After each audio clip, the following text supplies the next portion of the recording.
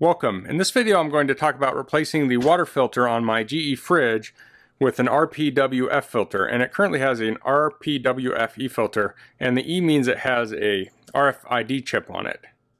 So the first thing I need to do is take this out. So to, to remove these you pull it out, I don't know, it's probably almost 45 degrees and then I like to grip it with my whole hand and just pull straight out. You don't want to twist it.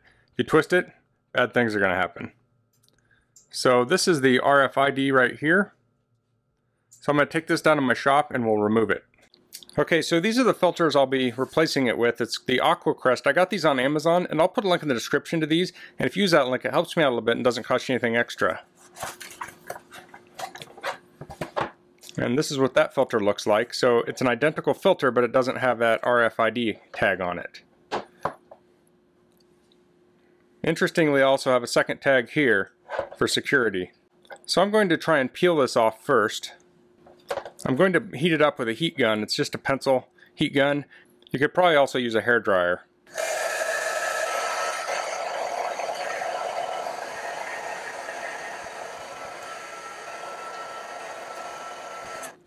Okay, so I took the label off and this is connected to the case now, so I'll need to remove it.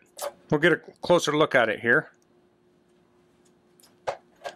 So I'm going to make some measurements and some marks. I'm going to draw out the orientation of it in case I forget.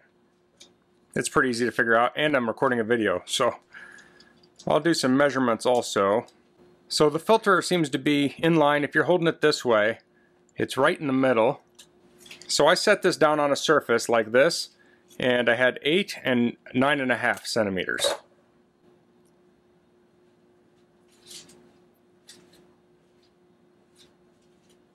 So to remove this, the first thing I'm going to try is this pull saw. You could also use a Dremel or a regular saw. There's a lot of different things you could try.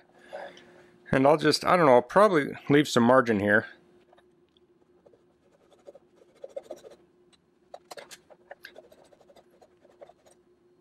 Seems to be some very thick plastic. Okay, I'm getting some water here. I'm going to go drain this out. Okay, I'll continue. I'll make sure to dry my saw off too in case it gets wet. Do the same thing on the other side.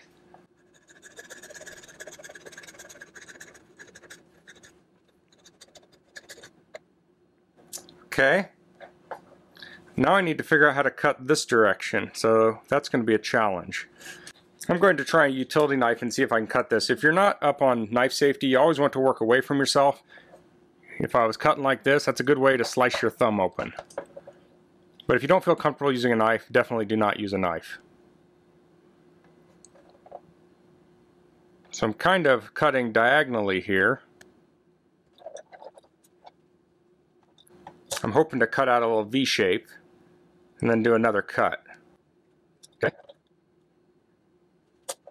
Just slipped, did not cut myself, so that's good.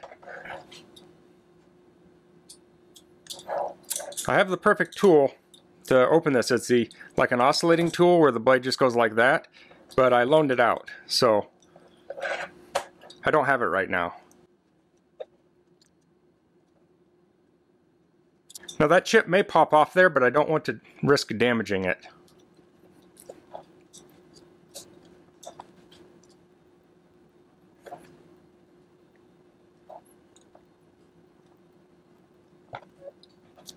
Although it won't look as pretty, you could drill a series of holes here to get rid of some of that plastic.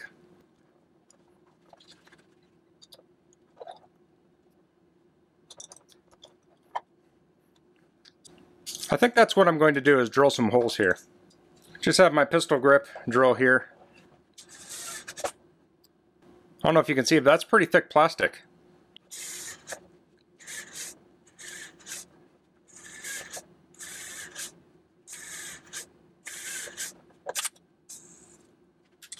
Now I'll try and go in here with my side cutters and cut this plastic.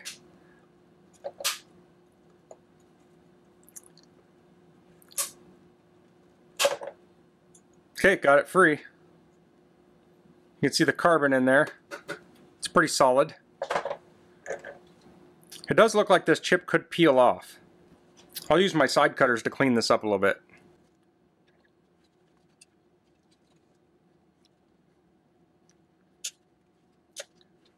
I'm starting to think the filter might be the strongest part of this fridge.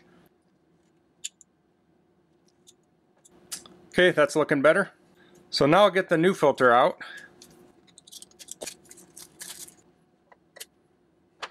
I'll get a piece of tape. And you could tape this to the fridge in the right spot. i am just going to tape it to the filter for now. I was under pressure. That was interesting.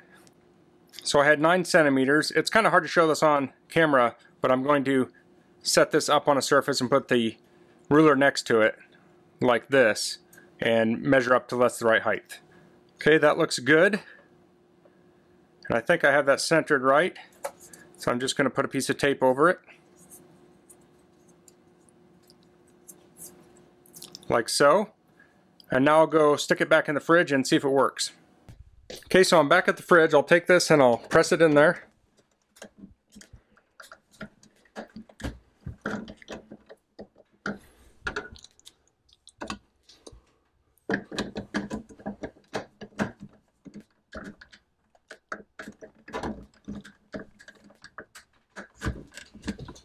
Okay, I got it over. I'll close that. Now I can try it. Yeah, that was bad. So that leads me to my next point is that you need to flush this. Uh, I think it's five gallons you need to run through it. So you can read the instructions with the filter tell you exactly how long. But with this style that's on the side of the inside of the fridge, I use a piece of 3 8 inch hose. I stick it up there and then I'll set a pitcher down below uh, to route this into so I don't have to hold the pitcher right up there. It gives me a little more control.